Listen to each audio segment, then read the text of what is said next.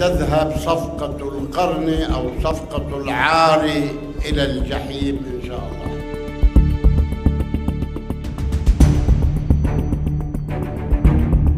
ندعو الموق... نحن الموقعون أدناه الحكومة لإعلان موقف حازم وحاسم بمقاطعة أعمال هذا الاجتماع ورفض كل ما تسفر عنه من نتائج من شأنها أن تساهم في تضييع الحقوق العربية والإسلامية التاريخية في فلسطين المحتلة.